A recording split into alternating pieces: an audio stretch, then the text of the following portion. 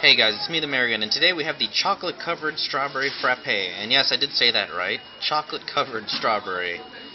Well, I have a chocolate frappe in here, and I have strawberry on top, so it's kind of, uh, I guess, ironic. It's flipped around, but that's how they describe it in the picture, so.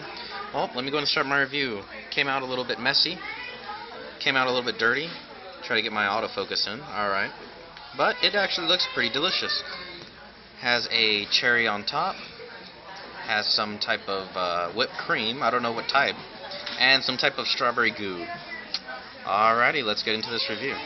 Upon opening my chocolate covered strawberry flavored frappe or whatnot, I encountered that the cap was holding on a lot of the whipped cream and it's melted already, so I'm going to take a taste of the whipped cream and the strawberry.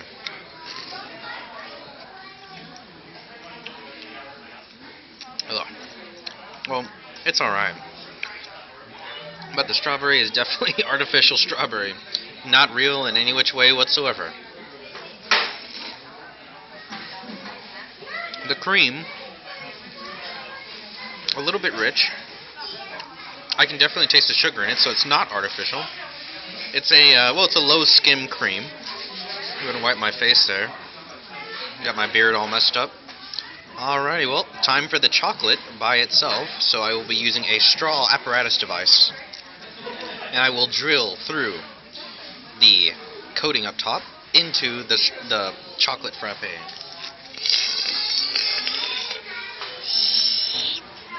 Alright, we've made it through the rock. Alright, drilled through the bedrock. We did it! Alright.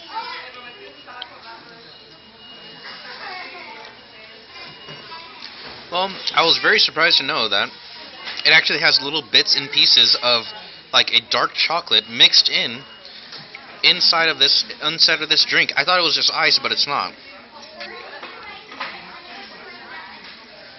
Hmm. It actually tastes really delicious with this. But okay, well, pros. Let's go ahead and get to the end of this.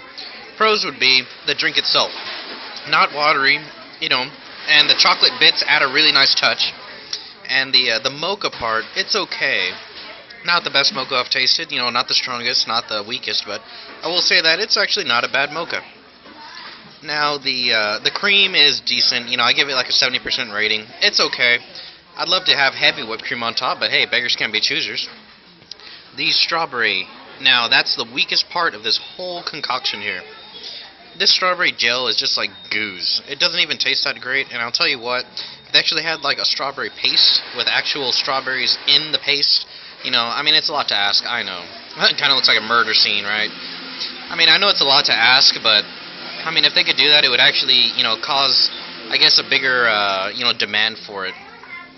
But I will say though, you know, well balanced drink. Uh, cons is just the strawberry sauce.